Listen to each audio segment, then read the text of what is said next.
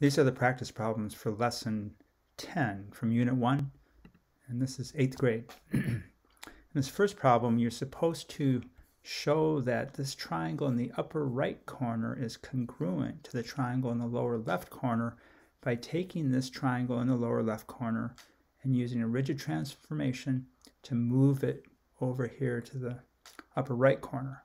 By doing that, then you can prove or you can demonstrate that these two triangles are equal or are congruent. And the way that I figured out how to do this is to do a rotation and to do a rotation around the center of the flag. But first of all, I actually measured in the student workbook the lengths of these sides. And so this side here matches this side up here. It's 8 and 3 tenths centimeters in the workbook, and this is 7 and 2 tenths centimeters. This side matches this side. So you can see that, and what we've been doing for the last couple lessons is rotating things 180 degrees, and you can see that if this side right here rotates 180 degrees and ends up up here, it's going to end up parallel, and it's going to be the um, equal distance from the center of rotation. So if you connect the corresponding points, you can find that center of rotation. So here I've connected those corresponding points. So for a 180 degree rotation, the center of rotation is the midpoint between the corresponding points. So that point is right here. So connect this point to this point up here, they correspond. Connect this point to this point down here, they correspond. And connect this point to this point down here, they correspond. So this point right here is going to rotate up end up up here. This point is going to rotate around, end up over here. And this point is going to rotate around and end up down here. So that rigid transformation shows that this length, again, moves up here. They are equal. They are congruent. And they are parallel in this case because it's a 180 degree rotation and they're an equal distance from the center of rotation, like this blue side as well. It's going to rotate around and end up over here an equal distance on the opposite side of the center of rotation and parallel. It's problem number one. Problem number two is work with another flag. And what you're going to show in this um, problem is you can move triangle 1 to triangle 2 through a transformation. You can move triangle 1 to triangle 3 and triangle 1 to triangle 4. So through those rigid transformations, what you are then proving is that all of these four triangles are congruent. They are all equal. So to move triangle 1 to triangle 2, you can do a reflection. So the line of reflection is the midpoint between the corresponding points. You have to find that midpoint. So you can measure it. You can use Doceri to find it. And then each point is going to move in a perpendicular direction at a right angle and an equal distance on the other side of the line of reflection. So they're going to move from this point over to here, and these two points are going to move over to here as a reflection. To move triangle 1 to triangle 3, you can do another reflection. And the line of reflection now is the horizontal axis, this midway in between. And again, you're going to move each corresponding point in a perpendicular distance across the line of reflection to an equal distance on the other side.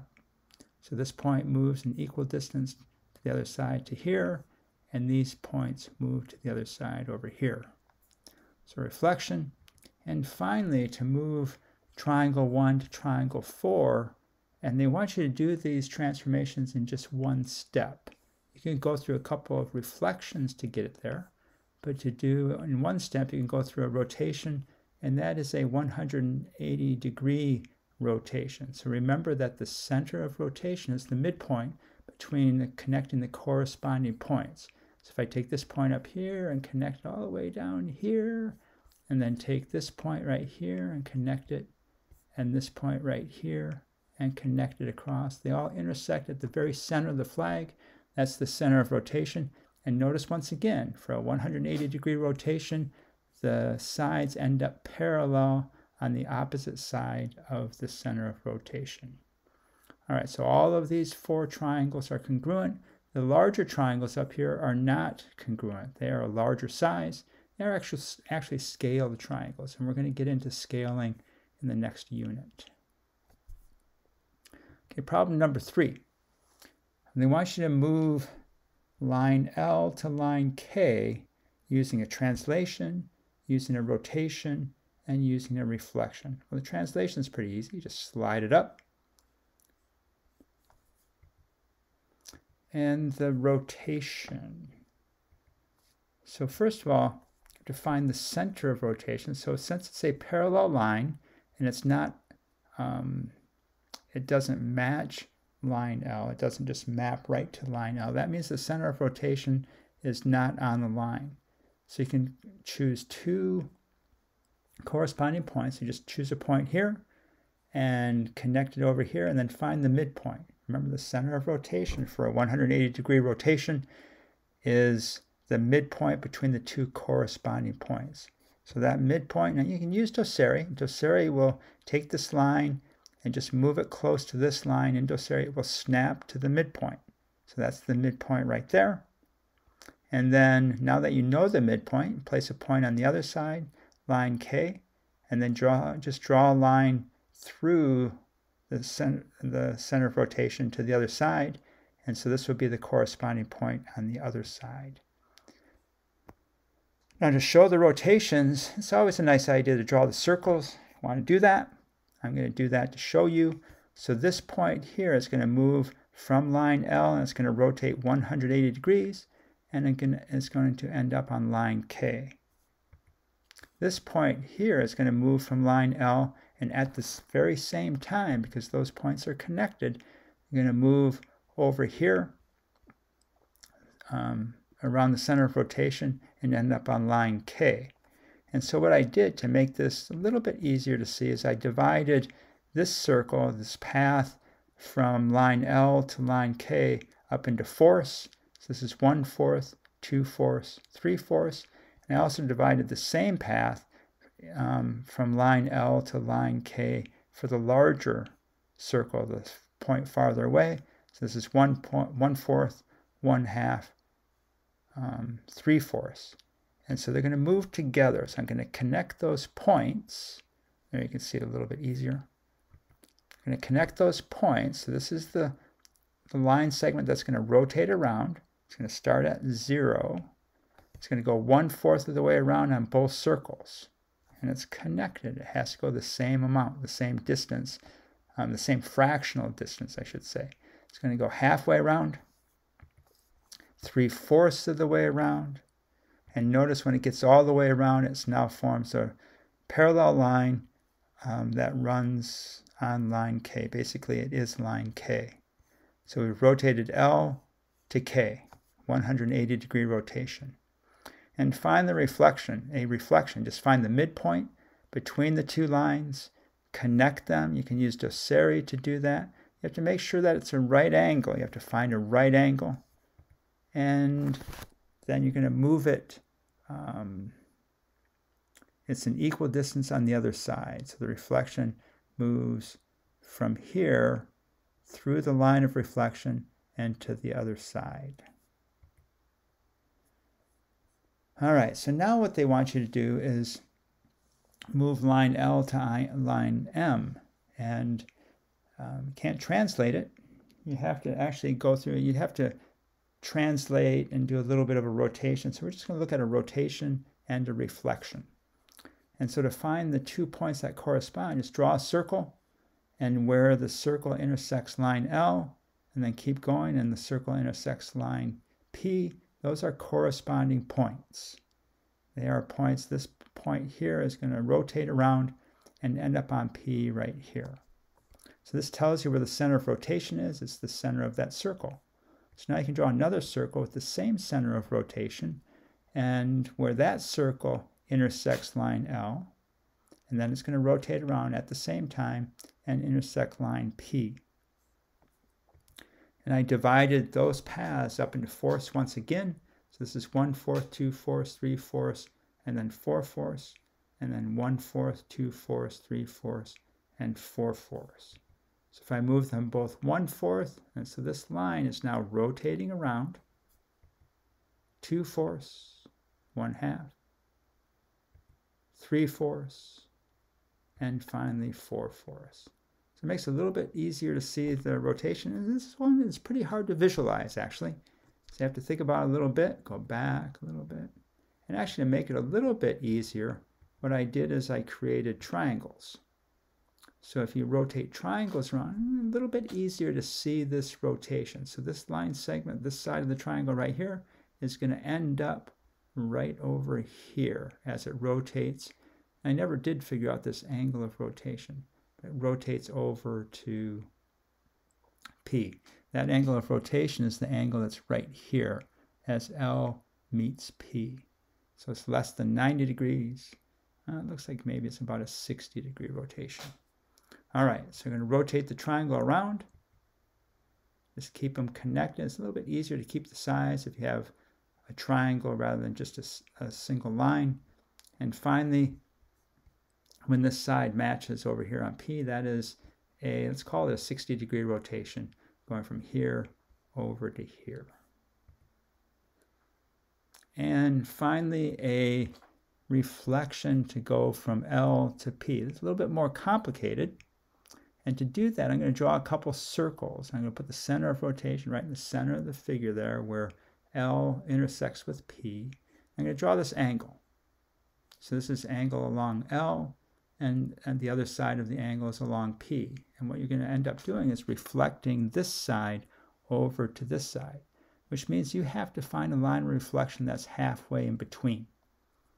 So if I draw these two circles, I know that the distance from the center to right here is the same as the distance from the center to right here along L, because they are both radiuses of the circle.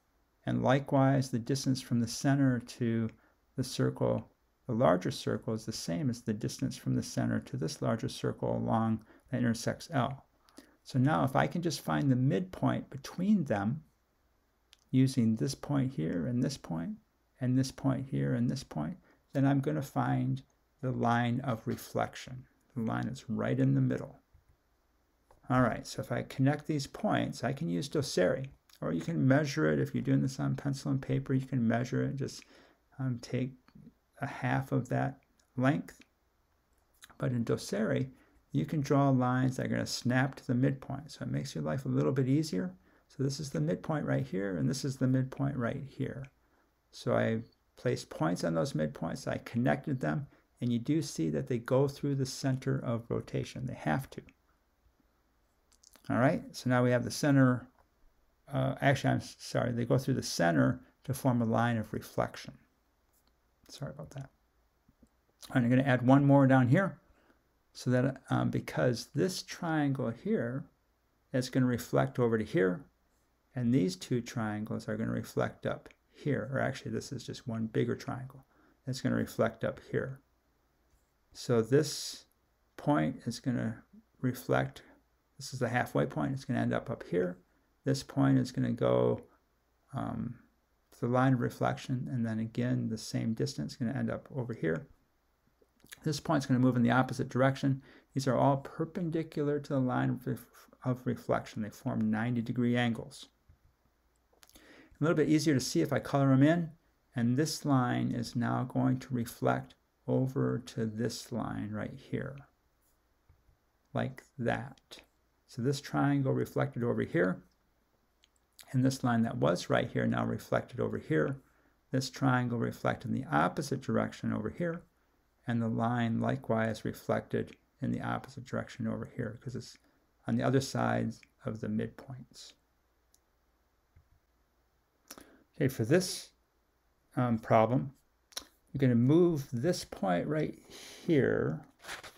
So a point at 3, 4. So this point is 1, 2, 3, one, two, three, four, and it says move that point four units left. So one, two, three, four. So now it's at a negative one, four. So it's negative one along the x-axis and four along the y-axis. And then um, reflect that point across the x-axis. So it's going to go across the x-axis. It's going to go an equal distance on the other side. And it has to move at a right angle. So this is It's going to move in a vertical direction straight down and an equal distance on the other side. And it's going to end up here at negative 1, negative 4, and then translate that point down two more units. 1, 2, and you end up at negative 1, negative 6. So that is problem number 4. And finally, in the last problem, they want you to rotate this triangle right here. I should have colored it in, but they're going to rotate this triangle 90 degrees. So this triangle is going to rotate up to here 90 degrees. Then they want you to go back to the same triangle and rotate it 180 degrees. Well, 180 degrees, remember, you're going to form um, parallel lines on the opposite side of the center of rotation. So here's, this line is right here. So if I connect these corresponding points, a little bit hard to see in all this mess. Center of rotation is right here. And this side is going to rotate all the way around and end up right here. It's going to end up parallel. So that's a 180 degree rotation. And then they want you to go back here and rotate this 270 degrees to right here. Well, you could take the 90 degree rotation and rotate that 180 degrees because notice that this triangle now is going to flip all the way around 180 degrees it's going to end up here. So this side is parallel to where this side started out. Or you could do the 270 degree rotation, whichever you like. And this line, this arrow right here is 270 degrees. I just didn't um, label it. All right, so once you've done all those rotations, you color it in. And what does the figure look like that you get? It looks like a pinwheel. So this is the triangle you start out with. This is a 90 degree rotation. This triangle I started out with. This is a 180 degree rotation. Triangle I started out with, and this is a 270 degree rotation. So notice that the 90 degree rotation, if you rotate that 180 degrees, that makes sense. You're going to end up at 270 degrees. So this side is parallel with this side.